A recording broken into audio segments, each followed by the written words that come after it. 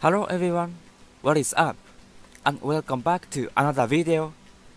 In the last video, we finished learning 5 essential nutrients. If you haven't seen it, please go back to the previous videos about it. And today's topic we are going to focus on is feeding habits.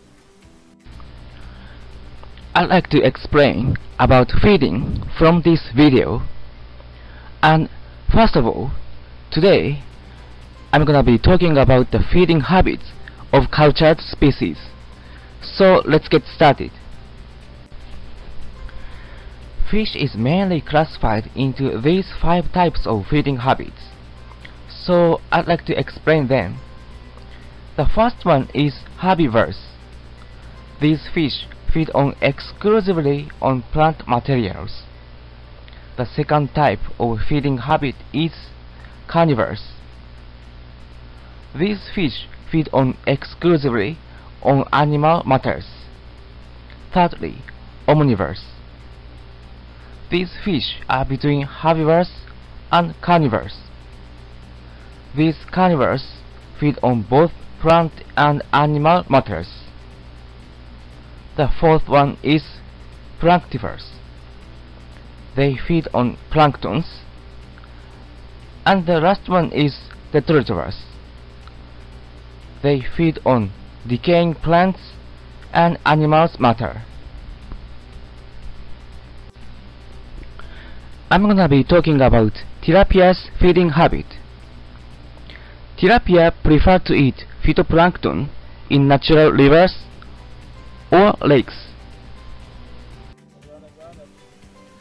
Actually, as you can see in this video, a fish farmer in Tanzania provide vegetable to tilapia. And it seems that the tilapia were eating vegetable well. I think the vegetable was not proper diet for fish in terms of nutrients. And probably they were very hungry at the moment in this video. However, this video show you they are herbivores. So let's go back to the last slide. As I told you, tilapia prefer to eat phytoplankton in natural rivers or lakes.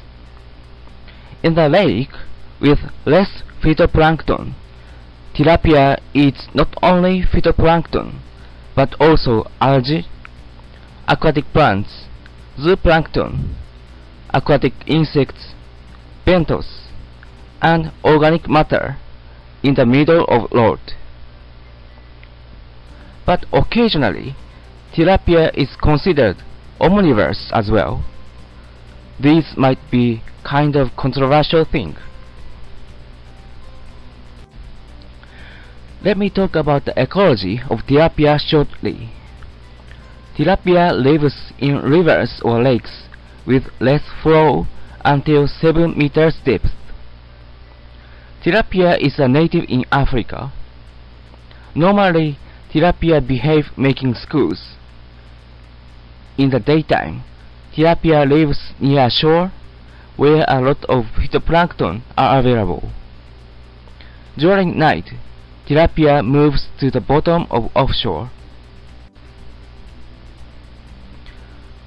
What about African catfish? Clarias lives rivers, lakes, and floodplain that have slow flow. And they can live even if less water environment in dry season. With regard to feeding habit, African catfish is omnivorous.